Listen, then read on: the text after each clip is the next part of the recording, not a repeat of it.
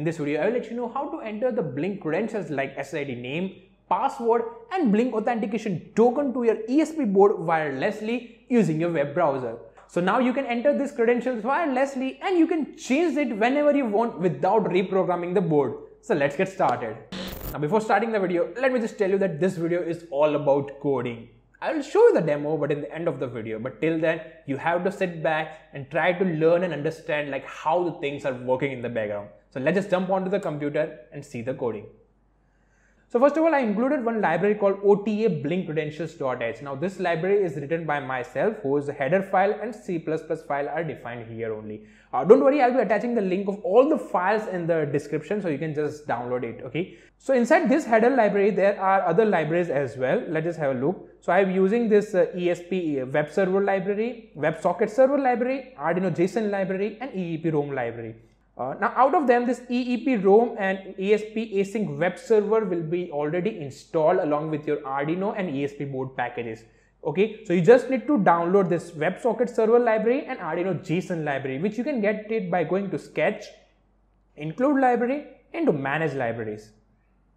So here's the search for the library you want. I will type as WebSockets. Okay, so you have to install this library for WebSocket server and after that I'll type Arduino JSON. So you have to install this library for Arduino JSON, okay? So these two library you have to install if you want to use this code. Moving back to the main code. Now after the library declaration, I use this if condition to make this code compatible with both ESP8266 board and ESP32 boards as well.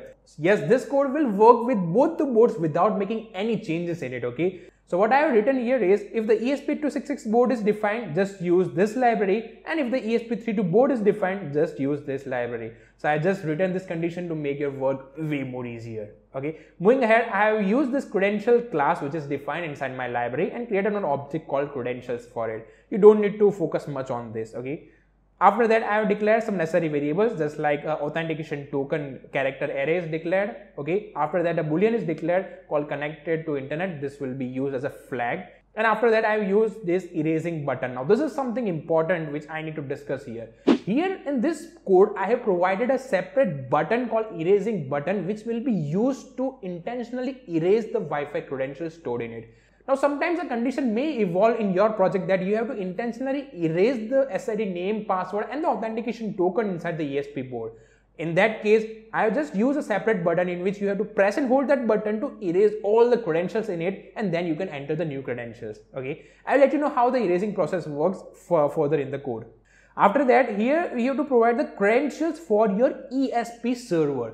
Here you don't need to provide the credentials of your Wi-Fi router, okay? Here you need to provide the credentials for your ESP board acting as a router or acting as a hotspot, okay? So I have provided the ESP SSID as techie SMS and the ESP password is remained as blank because I am making my ESP board as an open network. But you can add the password if you want, okay? So with the name of techie SMS, the ESP board will be acting as an access point, okay?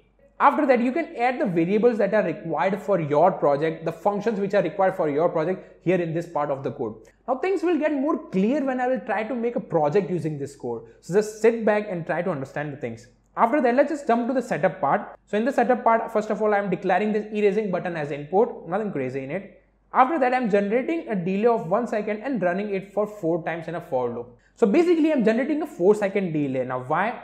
Uh, let me tell you by just reading out this line. So after 4 seconds, I'm reading the erasing button pin. So if that button pin is low, I will call one function called erase EEPROM.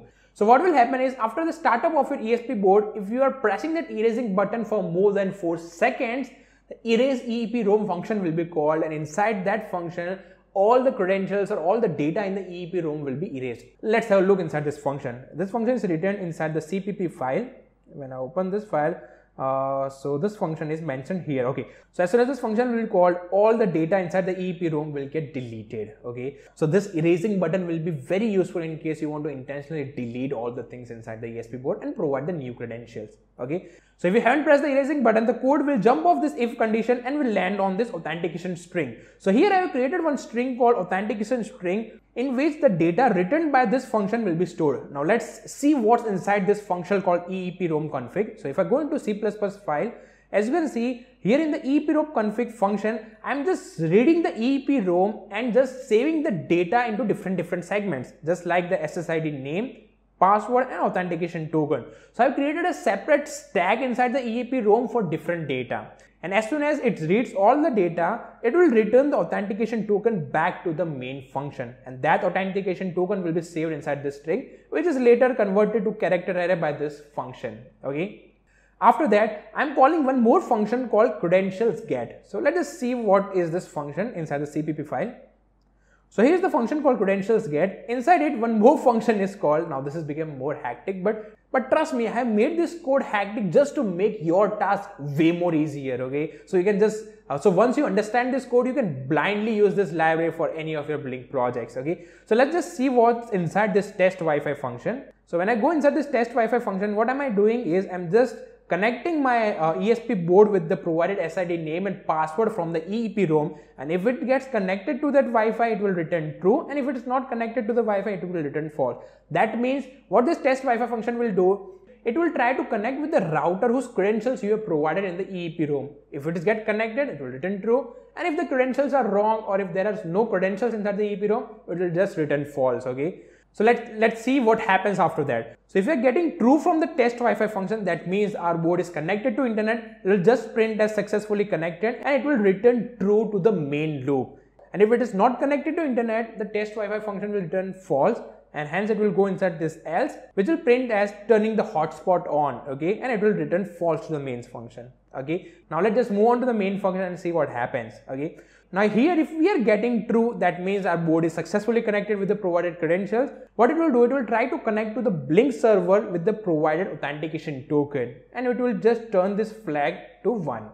And if the Wi-Fi board is not connected to the provided credentials, it will go inside this else and it will call one function called setup AP that means setup access point. That means setup hotspot basically okay? And the hotspot will be activated with the Wi-Fi name and password which you have provided here at the top of the code okay? In my case the hotspot will be created with the access point name as techie sms and there is no password. That means it is an open network. So now let's just have a look inside the setup ap function okay? So i will go into c++ file. So here is the setup ap function. So if i explain this uh, setup ap function in very short then first of all it will try to make your esp board as an access point with the provided wi-fi credentials uh, with the provided SID name and password by yourself in the main code. Okay. After that, in the launch web function, it will try to establish a web server at the local IP address 192.168.4.1 at port 80. Okay. After that, using the web sockets, we can get the data from the client and we can store that data inside the EEP EEPROM. Now, as soon as the board saves the data inside the EEP EEPROM, it will try to reset the board automatically by using this function called esp.restart.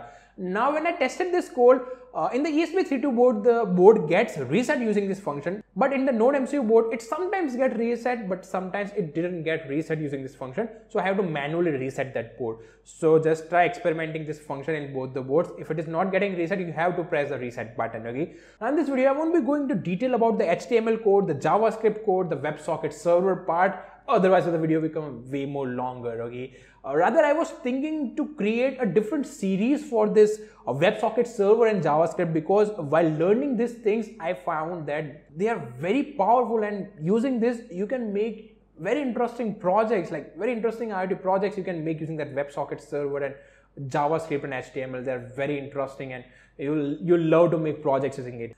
So if you all want me to make a separate series about this WebSocket server and JavaScript, then do let me know your response in the comments. If maximum of you people want me to create, then I will love to create a new series. And, and don't worry that episodes of the series won't be too boring because I'll try to make new project with every episode. So you will find it very interesting to learn. Okay. So do let me know in the comments if you want to, you know, learn about this WebSocket server programming, everything. Okay. So this is all happening inside the setup AP function. Now let's just jump onto the main code and see what happens after that. So in the main code, after the setup AP function, I'm making this flag to zero just to ensure that our board is not connected to internet. Okay. Moving ahead. After that, I've used one if condition inside which you can write your setup part of the code which you will be using for your Blynk projects. Okay. So this uh, if condition will only be satisfied whenever it is connected to internet. So till the setup part, we have understood that if our ESP board is connected to internet, it will execute the setup part of the code inside this if condition. And if it is not connected to internet, it will first of all turn on the access point mode of that ESP board with the provided credentials after that, it will launch a web server on it and using the WebSocket server, we can exchange the data between the ESP board and our web browser. As soon as we provide the credentials to the ESP board, the WebSocket server will receive it, save it inside the EEPROM and restart the board. Okay, so this is all we have understood till now. Let us move on to the loop part. So first of all, inside the loop part, I'm running the server loop function. So if we see what's inside the server loop function, then there is just simple line WebSocket.loop. Now this function is required to run the WebSocket server, okay? So that is all declared inside the loop. And after that, I provided one more if condition which says connected to internet, okay? So if the board is connected to internet, you can write the loop part of your code here inside the loop function, okay? So one of the function will be Blynk.run, which is obvious function if you are using the Blynk projects. So if you are using any other thing just like the timer function, you can define timer.run function here inside the code. So this is all about the logic which I developed to enter the credentials wirelessly inside the ESP8266 board and ESP32 board. So if you have watched this video till now continuously then you are damn interested in learning the logic and you should be actually because if you are making the project you should know each and everything about the project okay. So here I have explained everything which I have written inside the code. Now what I will do is I will try to make one or two project using this OTA Blynk credentials function, okay? And I will let you know how the things are working. So let's just start with the first project. So on the left hand side, I have the code for OTA Blynk credentials and on the right hand side, I have the code for ultimate home automation using Blynk, which I made previously, whose link is attached in this I button, okay? So I will let you know how to copy your code into this OTA Blynk credentials. So first of all, you have to copy the necessary libraries, just like this dht.h library, which is not here inside the code. So I'll just copy uh, that library and paste it somewhere here okay this ESP8266 Wi-Fi library and Blynk library are already declared inside the code, so I won't add that. Okay. After that, these are some variables which are used in the code. So I'll simply copy up to the setup part.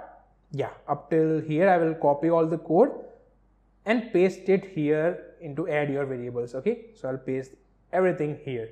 Okay. Now here what you have to do is you have to remove all the SID name and password part and you have to also remove that authentication token part okay? Make sure you remove all the thing otherwise it will make uh, problems in your code okay? So just remove the SID name and authentication token part from your code now here there's one more thing which you need to pay attention on it and that is the pin number. Now as discussed earlier, I am using here one erasing button which is attached to one of the GPIO or which will be attached to one of the GPIO. Okay. So right now I have used the GPIO 0 which is nothing but the D3 pin of the Node MCU board. So D3 pin GPIO 0. So make sure you are not using the D3 pin of, uh, in your project. But in my case I am using the D3 pin uh, for the multiplexer IC. So what I will do, I will use any other button for the erasing pin, okay. So after uh, reading all the things, I found that the D8 pin that is GPIO 15 is not used for my project. So I will just change the erasing button to 15. So this is the thing which you need to consider before uploading the code, okay. After that, let's copy the setup part of the code. So you have to copy the setup part from here. Just copy it and you have to paste the setup part inside this, okay. Uh, after that the loop part. So I will what what I will do I'll just copy the loop part up till Blynk dot run. Okay? I'll copy all this. I'll paste everything here. And also copy this timer dot run function as well. I won't copy Blynk dot run because it is already written inside this code. Okay? So this is all you need to do if you want to make your Blynk rated project compatible with the OTA Blynk credentials okay? So if I compile this code it should get successfully compiled. Okay so as you can see the code was successfully compiled. Now I'll straight away upload this code onto my node MCU board. Let's see this project in action. Okay so the code is successfully uploaded. Now I'll just uh, insert this ESP board onto the PCB and let's power up the board. Uh, let me just open the serial monitor just see the response so initially as you can see uh, there were no credentials stored inside the EEPROM. So what the ESP board did is it tried to make its own access point with the name Techie SMS okay. So I'll go to my smartphone Now before entering the credential, let me just copy the authentication token of the project. Okay, so the authentication is copied. Now what I will do is I'll connect my mobile phone with the Techie SMS access point. Okay, so it is successfully connected. Now open the web browser and go to the IP address called 192.168.4.1. So here as you can see, I am getting a web page with three sections, SID name, password and authentication token. So I'll write my Wi-Fi credentials here. And after that, I'll paste the authentication token. Click on the submit button. Here on the web page, you can see the response as credentials received by the ESP board. And on the serial monitor, as you can see, the credentials are saved inside the EEPROM. Now I'll just reset this uh, Node MCU board. And yes now it got connected with the Wi-Fi router. And yes on the application side you can see it is connected with the Blynk server. So yes now I can control the release from my smartphone. And I can also get the data of temperature and humidity sensor from the Node MCU board. So yeah as you can see this project is working as before without entering any credentials inside the program. Okay? That's amazing right let us try to make another project using the ESP32 board. So in the ESP32 board, I don't have any PCB for that right now. So what I will do, I'll just turn on and off two LEDs using the ESP32 board. And for that, you don't need to add any single line of code inside this OTA Blynk credential. Yes, you don't need to add anything. You just need to upload this example code as it is to your ESP32 board, okay? So what I'll do is just select the ESP32 board so here I've selected ESP32 board and I haven't changed anything from the example code and if I click on this compile button, it should get compiled successfully. Let's just see. Okay, so the code is successfully compiled. Now I'll straight away upload this code to the ESP32 board and let's see this project in action. So as you can see, here's the ESP32 board and I have connected two LEDs to this two GPIO pins of the ESP32 board.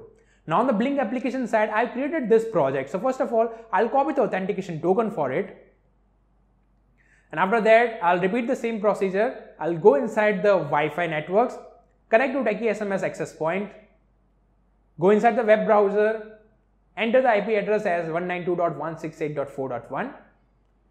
Here is the web page. Now enter the SID name and password of the router and I'll paste the authentication token. Click on the submit button, press the reset button on ESP32 board.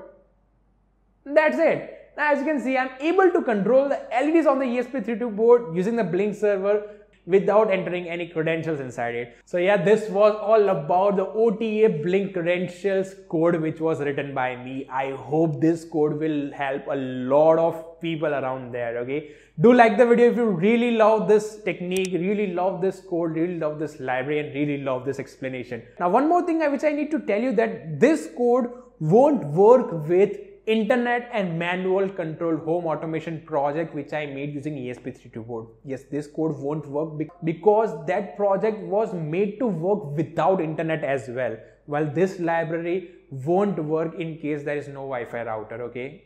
So that's the difference. So this code is not compatible with the internet and without internet part. Uh, I have tested a couple of projects and this code worked for them except that internet and manual control. But I'm not sure this code will work for every Blynk projects.